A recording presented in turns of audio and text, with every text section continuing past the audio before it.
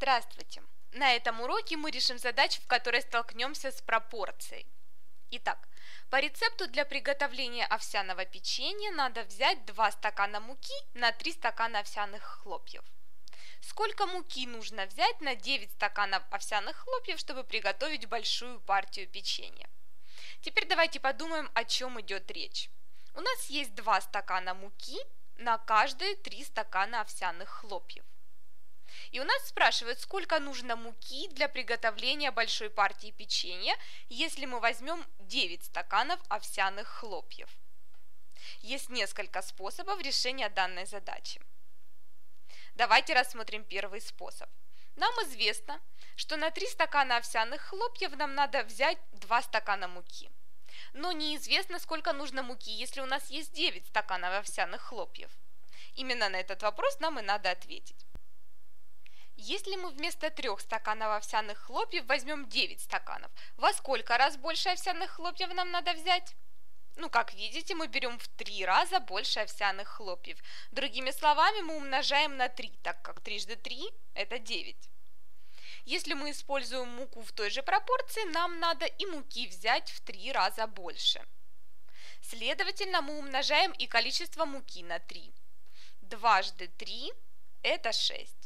Таким образом, нам надо взять 6 стаканов муки. Это и будет наш ответ – 6 стаканов муки. Теперь рассмотрим второй способ решения. Мы можем просто составить пропорцию. Мы могли бы записать ее так. 2 стакана муки на 3 стакана овсяных хлопьев равно знак вопроса стаканов муки на 9 стаканов овсяных хлопьев. Мне, конечно, больше нравится первый способ. Если мы утроили количество овсяных хлопьев, мы должны утроить и количество муки, чтобы сохранить правильную пропорцию данных продуктов. Во втором же способе, где у нас э, что-то вроде уравнения, нам придется поработать с алгеброй. Этот метод называют умножением крест-накрест. В любой пропорции можно перемножать члены пропорции по диагонали – вот это и есть принцип перекрестного умножения. Таким образом, если мы перемножим члены пропорции крест-накрест, мы получим 2 умножить на 9 равно знак вопроса умножить на 3. Ну, знак вопроса, как вы помните, представляет количество стаканов муки, которые мы берем на 9 стаканов овсяных хлопьев. Таким образом, у нас получается 18 равно знак вопроса умножить на 3. Следовательно, количество муки, которое нам надо взять, умноженное на 3, будет равно 18. Другими словами, мы должны найти число, при умножении на которое получится 18. И это число 6. В результате мы все равно получили 6. Таким образом, наши ответы совпадают. Нам нужно взять 6 стаканов муки. Но вы, наверное, немного озадачены, и у вас возник вопрос, почему это перемножать крест-накрест правильно? Почему, если у нас есть такого рода пропорция, почему правильно перемножать ее члены? Почему этот знаменатель мы умножаем на этот числитель, и почему это произведение, в свою очередь, равно произведению вот этого числителя и этого знаменателя?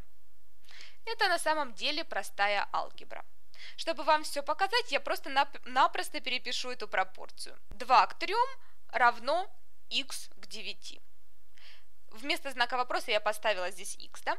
Итак, из этой записи следует, что левая часть равна правой. Значит, все, что мы делаем с левой частью, мы должны сделать и с правой, да, если мы, конечно, хотим, чтобы наше равенство осталось верным. И все, что нам надо, так это упростить данное уравнение у нас в правой части должен остаться только x. Таким образом, если мы умножим вот это на 9, то девятки сократятся, значит останется только x. Итак, давайте умножим правую часть на 9. Но если мы умножаем правую часть на 9, то нам нужно и левую часть умножить на 9. В противном случае выражения не будут равны. И если мы хотим, чтобы они остались равными, мы должны умножить на 9 оба выражения, то есть обе части уравнения. Девятки в правой части у нас сокращаются, следовательно, остается только x.